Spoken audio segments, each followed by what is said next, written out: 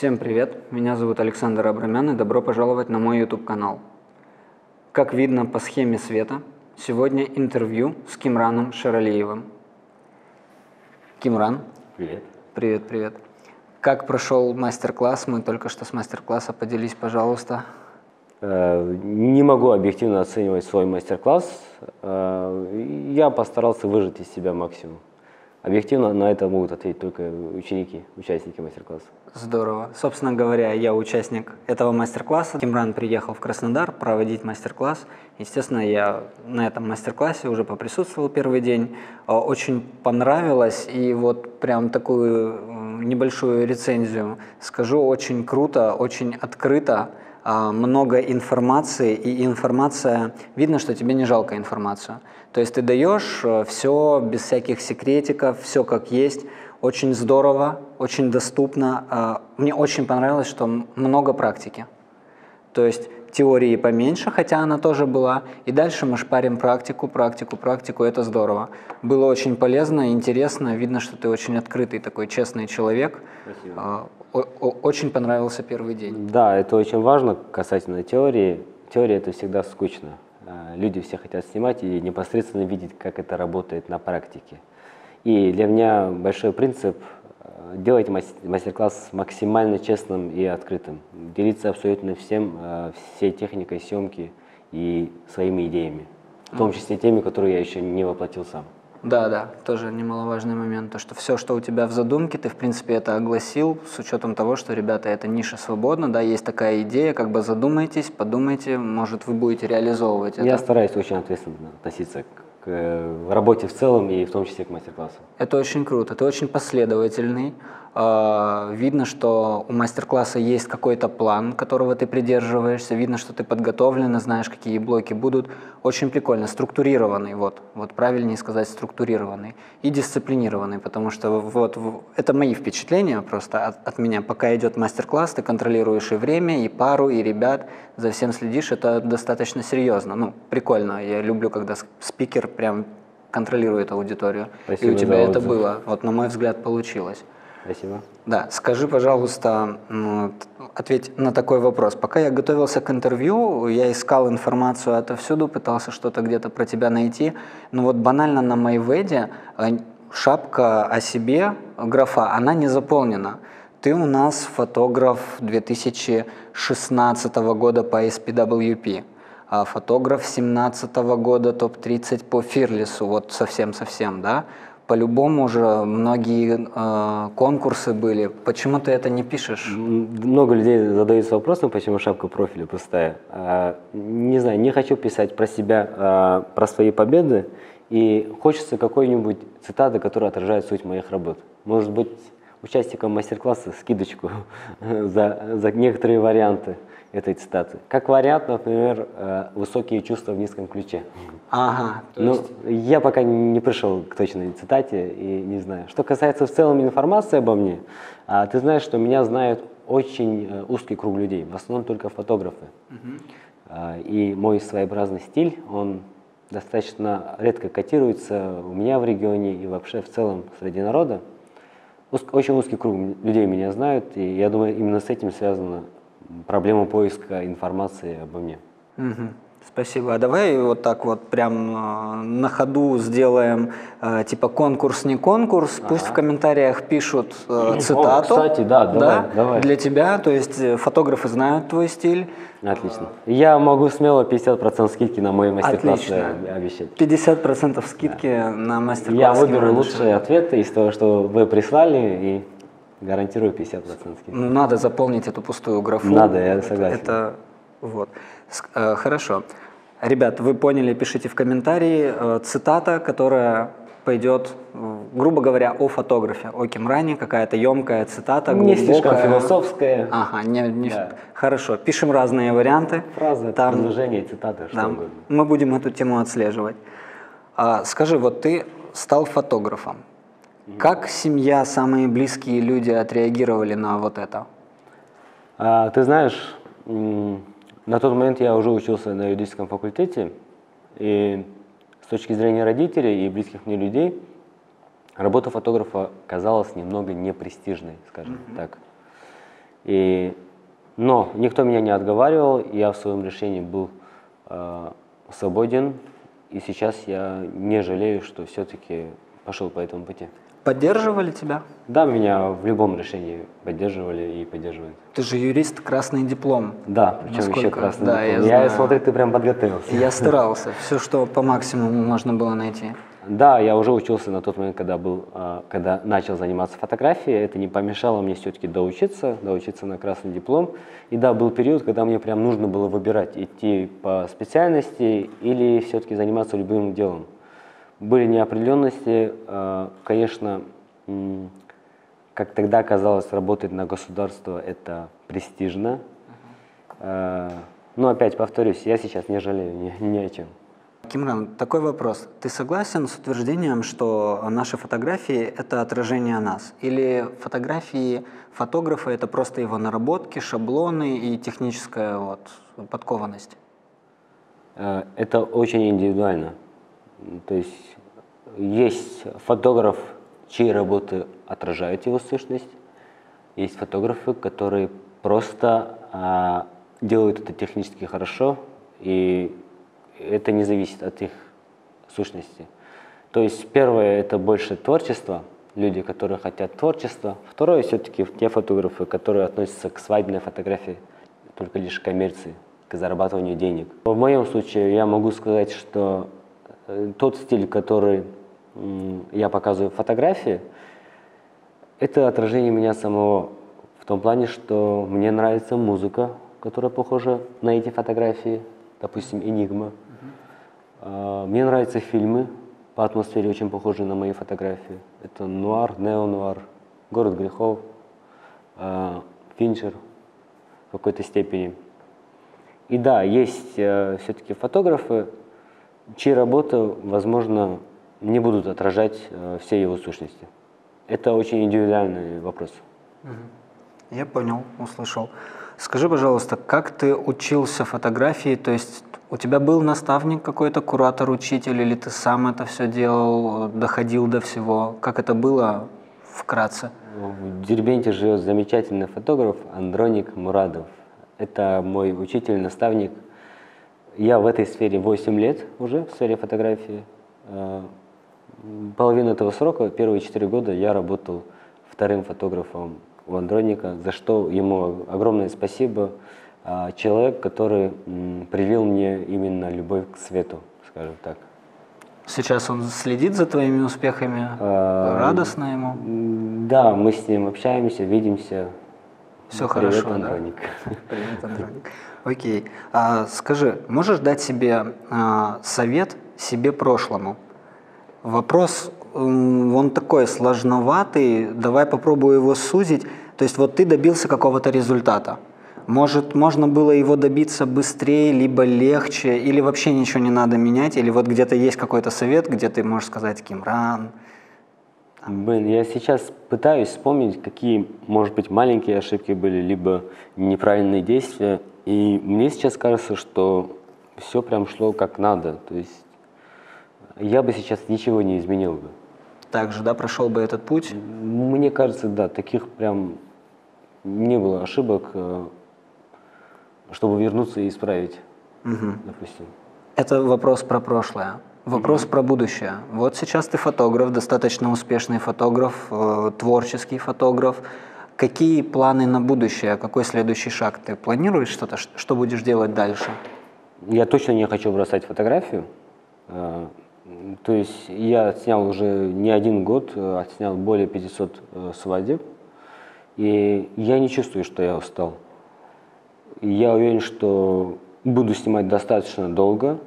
В тот момент, когда мне надоест снимать свадьбы, я буду брать меньше свадеб, буду снимать меньше. И, а, наверное, если даже не буду снимать свадьбы, буду заниматься какой-нибудь схожей сферой.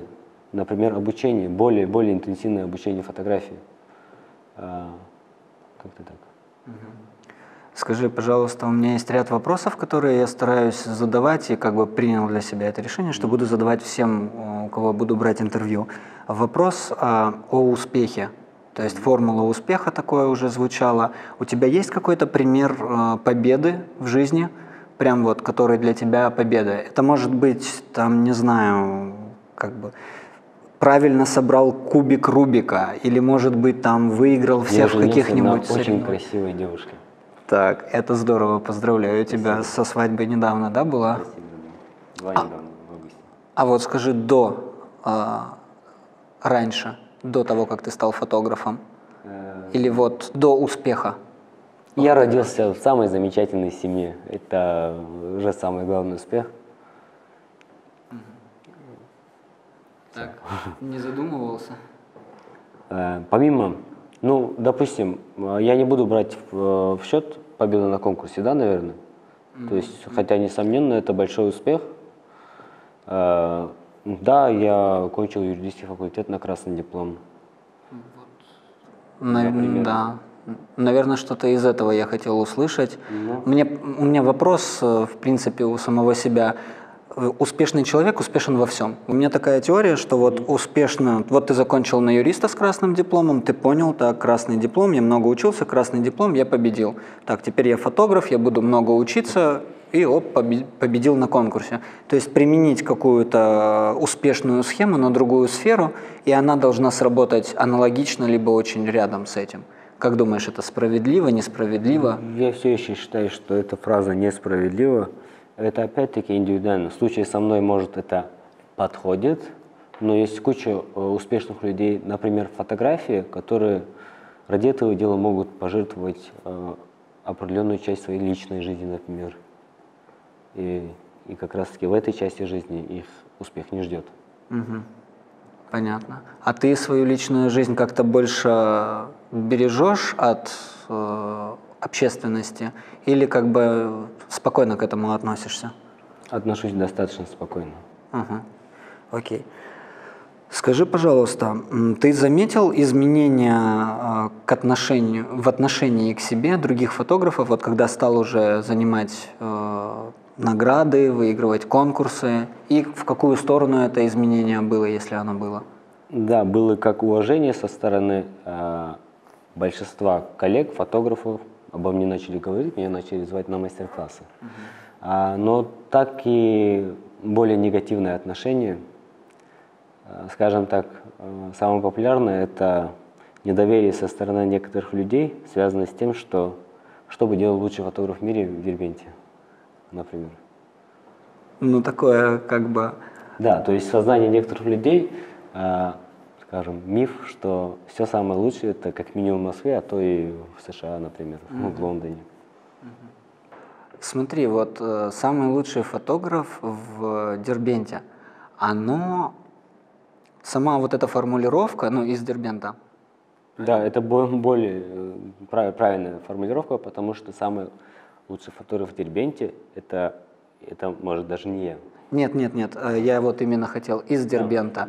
То есть э, в мире, лучший фотограф в мире, оно, наверное, как-то цепляет вот это и наводит на мысли. Но вот ты для меня конкретно, когда я только начал смотреть э, за работами, я сразу начал пытаться понять, на что ты снимаешь. Э, В принципе, ну как бы я не любитель техники, вот прям копаться в ней, но мне было как бы интересно.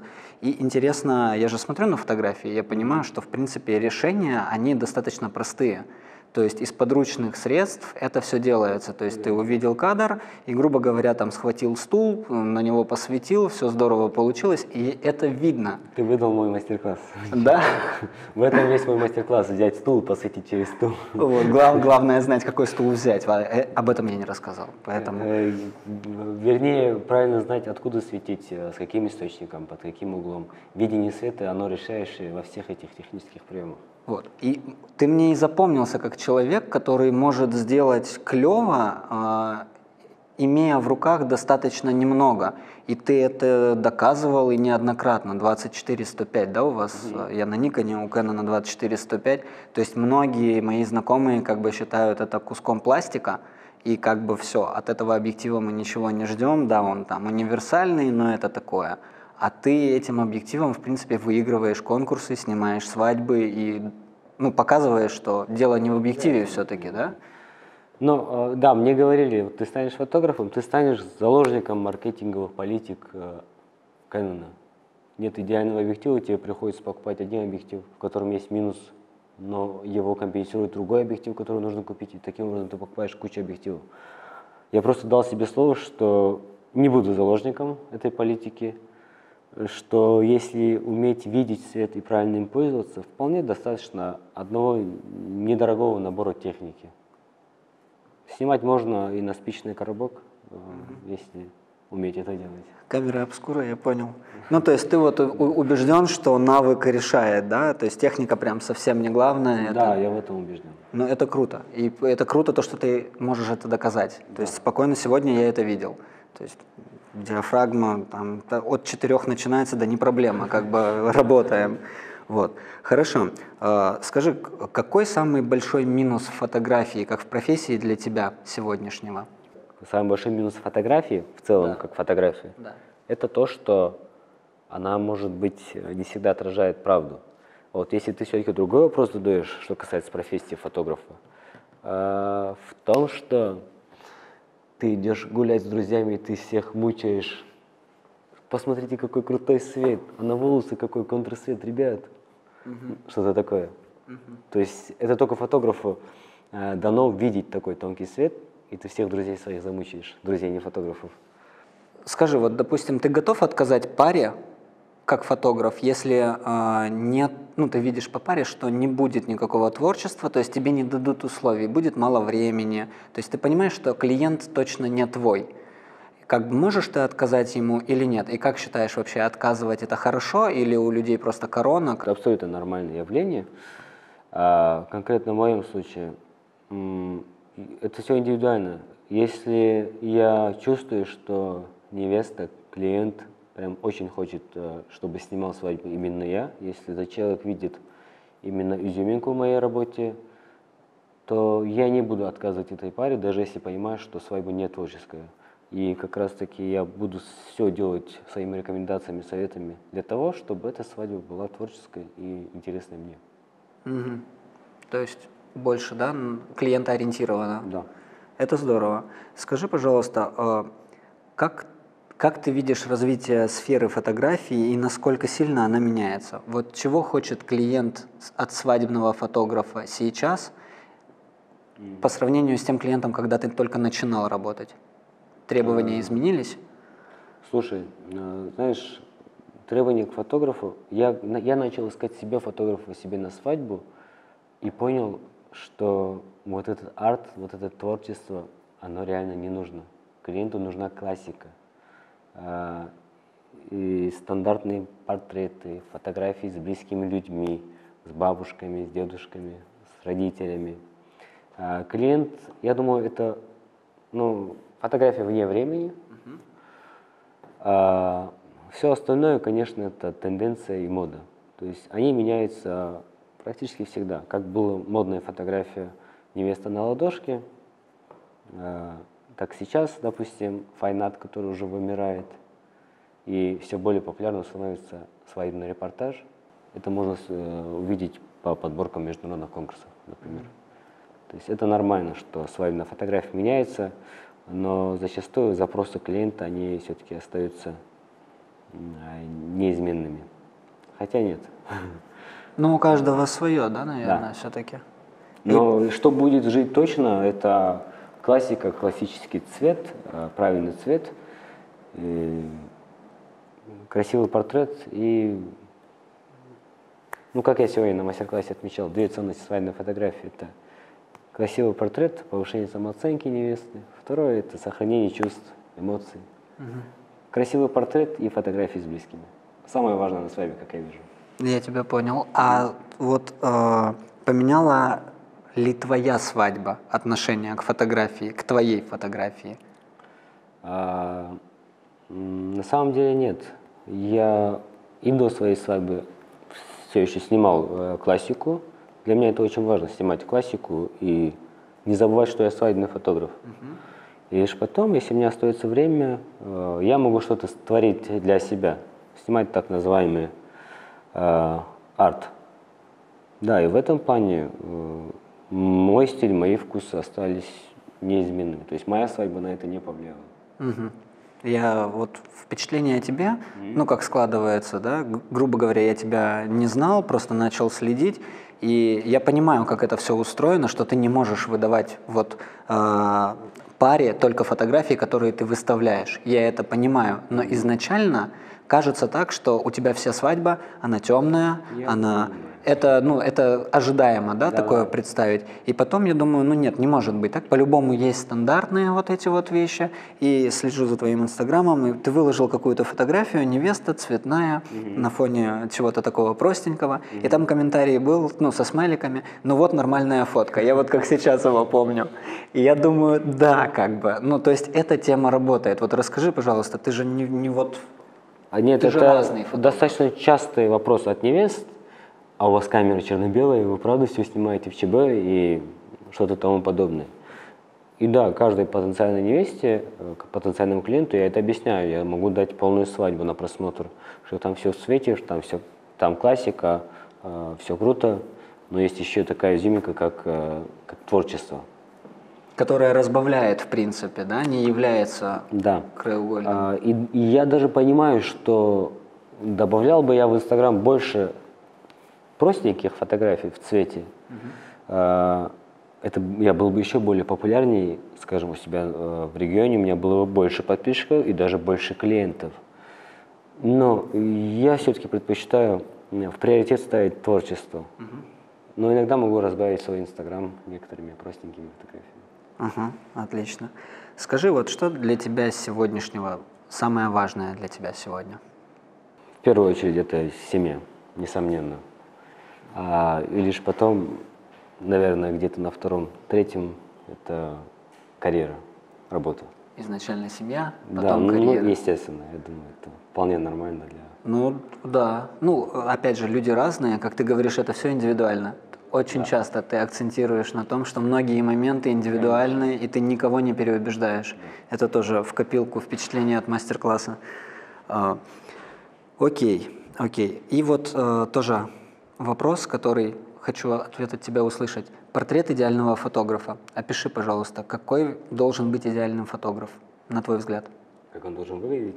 А, какими качествами он должен Он должен обладать? быть хорошим психологом, потому что а, свадьба это в какой-то степени некоторый, может быть, э, стресс, э, либо постоянная перемена настроения у невесты, и очень важно все это чувствовать, понимать невесту, знать, как с ней пошутить, синхронизироваться с невестой, и он должен быть прям очень хорошим психологом для этого. Я думаю, это очень важно для свадебного фотографа. Первостепенно психолог. Да, несомненно. А лишь потом там технарем э, касательно фотоаппарата и умений, навыков э, по свету. Мне кажется, все-таки быть психологом это гораздо важнее, чем все остальное. А, вот ты знаешь любопытный момент, да? Как, скажем, а, возьмем среднего топового фотографа и какого-нибудь очень крутого фотографа, который действительно хорошо снимает и порой даже не отличишь от э, работ топового фотографа но недостаточно популярен.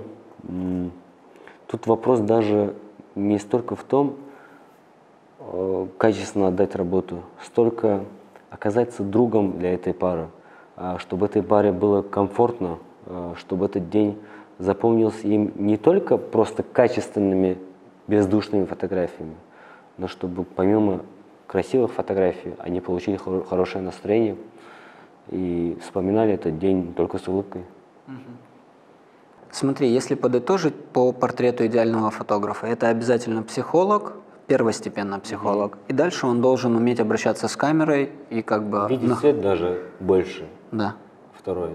А лишь дальше, наверное, обращаться с камерой. Ну, это Мгм. Ну я вот смотрю, сколько, во-первых, все такие топовые топы, они, к- кто, кто начинается, да, они занимаются фотографией около 6 лет, вот от 6 лет.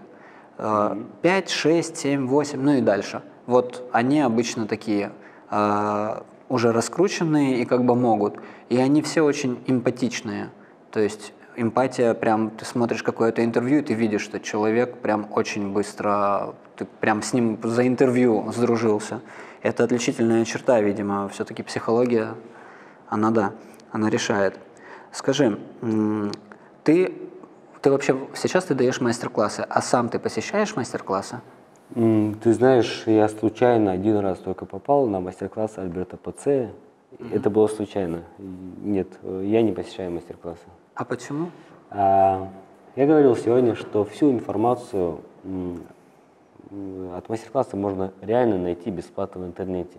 Практически от каждого мастер-класса, то есть от любого спикера, все можно найти. Но беда состоит в том, что ты потратишь на это кучу времени, и ты не получишь заряда мотивации. В этом смысле, да, стоит идти на мастер-классы, но стоит очень аккуратно выбирать, а их, благо, сейчас очень много мастер-классов. Да. Тут очень нужно аккуратно И выбирать это даже, спикера. наверное, проблема уже. Да, это большая проблема. Все, все хотят зарабатывать на мастер-классах. Да. А, хорошо. А как ты сам дошел к мастер-классам? Это после победы? Вот твой первый мастер-класс, в честь чего он сл- случился? Как ты решил? Эм, Ты знаешь, мой, вообще мой первый мастер-класс был еще до победы а, на этом конкурсе.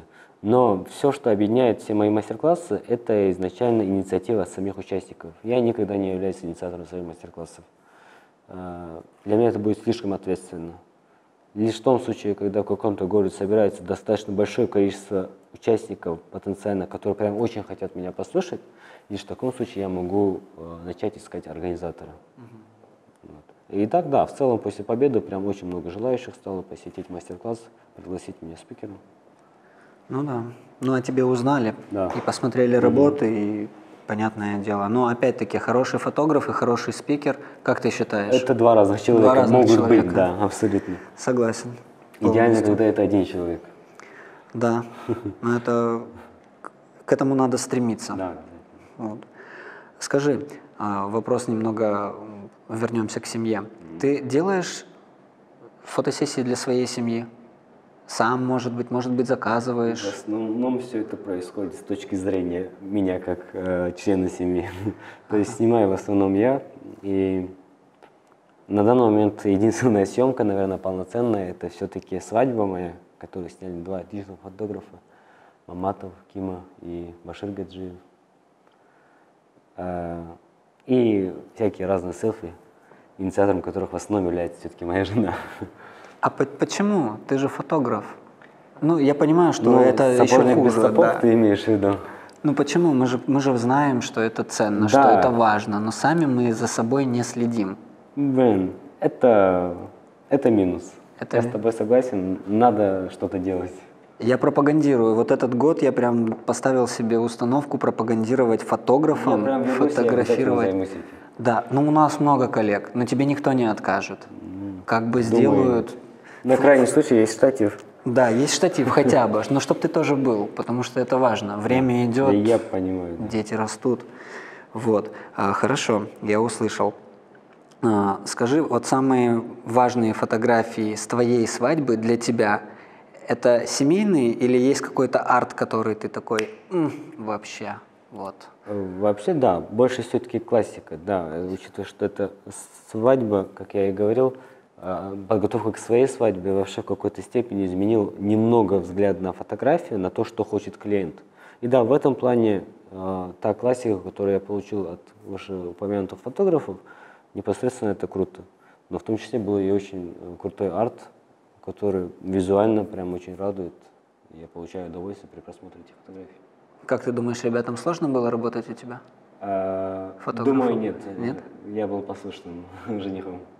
А, это друзья, ну вы общаетесь Да, это- как да, бы? Это друзья. Ага. Мне интересно вот снимать свадьбу мало того, что фотографу, еще и титулованному фотографу. А. Как-то это будет зажимать? Или... Нет, э, мы друзья, поэтому было легко все. Вообще в Дагестане очень много достаточно популярных, крутых фотографов. Как я считаю. Ты еще говорил, у вас очень сильные видеографы. Давай о них тоже скажем, потому что на канале есть видеографы, и я считаю, фотография и видео – это очень близко. Я прямо сейчас засматриваюсь не то что фильмами, а вот больше а, рекламными проектами, киношными. Ну, то тоже, о чем ты говорил. И это очень круто. Прям можно ставить делать Ну, принтскрины? да, вообще я могу назвать э, некоторых прям очень крутых видеографов, которых, э, ну, прям стоит посмотреть. Да, давай ты назовешь, и мы прикрепим еще ссылочки на ребят, если это действительно крутые Да, видеографы. со многими из них я достаточно часто работаю на свадьбах. Это мои друзья. Это Афис Мамедов. А, Я думаю, я скину ссылки, и ты сможешь это прикрепить. Это видеостудия Ragtime. Они снимали мою свадьбу, снимали мне Story. Ролик есть у меня в Инстаграме, также могу ссылки тебе покидать. Мне очень нравится работа Нариману Гафурову. А, Может, твои зрители даже знают про него. И он снимает достаточно известные пары. А, Нравится Ислам Абдуллаев, Йосиф Гасанов. Ну, их достаточно много. Мы И они снимают достаточно круто. Мгм. Это круто. Ну, фото, фото и видео все равно. О- очень, очень. А ты сам не, не поглядываешь на видео? А, Мне нравится видео. А, Я вообще очень много смотрю кино, но переходить на видео чисто технически это очень сложно. Хотя я, как я считаю, что... Вот, кстати, по вопросу о том, что кем я вижу себя а, вне фотографии, либо ну, после того момента, когда мне фотография надоест. А, вот мне было бы интересно снимать видео, но в смысле не свадебное видео, не, класс- не тот видеограф, о котором большинство, наверное, подумало, а что-то более серьезное, какой-нибудь коротко- короткометражный фильм, например, А, либо вообще фильм в целом полнометражный. А, В этом, а, в этом, в этой сфере у меня есть свои кумиры. Это Дэвид Финчер, а, Эммануэль Любецкий как оператор. Финчера я прям очень люблю. Да, обязательно советую всем посмотреть его фильмы и э, насладиться его режиссерскими приемами. Мгм. Посмотрим. Окей, я тебя услышал. Фотография все-таки, ну, много когда снимаешь, ты понимаешь, мы пытаемся рассказать историю все равно, да, но есть моменты, когда хочется, ну вот, оживи, Да, ход, чуть-чуть динамики. Вообще фотография и кино это прям очень близкие сферы. Да. А скажи, давай чуть-чуть о стиле и будем уже закругляться. Вот сейчас э, все говорят стиль, свой стиль, не свой стиль. Я как бы и вроде, я не могу определиться, как для меня это звучит, больше хорошо или больше плохо. Просто сейчас ребята, которые только заходят в фотографию, они слышат это, просто есть как бы знакомые, да, которые только начинают, и они задумываются о стиле, они еще не успели не набить руку, не опыт, а они пытаются найти себя, какой-то свой стиль. Как ты относишься к этому? Может, какая-то Нет, как-то постепенно это все должно происходить? Однозначно наверное? стоит искать стиль, но надо понимать, что он не приходит в одночасье, он не придет после моего мастер-класса и не придет ни после другого какого-нибудь мастер-класса. А, Это долгий путь. Да, согласен полностью. Мастер-класс не, не волшебная таблетка. Да. Это общение, это посмотреть на фотографа как на личность. А, Однако многие участники думают, ну, некоторые участники, может, думают, что я приду и покажу, где в фотоаппарате находится кнопка шедевр. Ну, вот даже сегодня то, что я видел, готовые решения, которые ты давал, реально ну, не, не будут все их использовать. Это, это мотивация, может быть. Да. Но никак вам никто не положит инструмент в руки. Да, я стараюсь исключить из участников своего мастер-класса тех людей, которые, по крайней мере, не знают, что такое экспозиция, выдержка и все. На мой мастер-класс приходят достаточно м, профессиональные люди. Больше. Я понял. Ну, это правильно. Это правильно. Ладно, я думаю, будем закругляться. Завтра нас ждет э, второй день мастер-класса. Первый день мне очень понравился. Посмотрим, что будет завтра. Спасибо большое, Кимран, за Спасибо. интервью. Спасибо. Э, К нам приезжай. Просто приезжай в гости. Мы Также всегда и рады. вы к нам. Все тогда. Огромное спасибо. Вот. С нами был Кимран Шаралиев. Подписывайтесь, ставьте лайк, делитесь видео с друзьями. Всем спасибо, всем пока. Пока. Так, сколько я тебе должен за рекламу мастер-класса в своей? А, 3 500 Так, каждый выход. Давай на карточку, наверное, да, с Сбербанком. В принципе, да. Да, К номеру хорошо. привязано. Да, ты там прикрепи еще мой инстаграм. Да. И всё ребята, видеооператоры, которые тоже Мгм. пусть Да, да, да, да, да, я им напишу что сейчас, чтобы- Ссылочки будут висеть. Всё, договорились. Должно Спасибо. работать все. Да.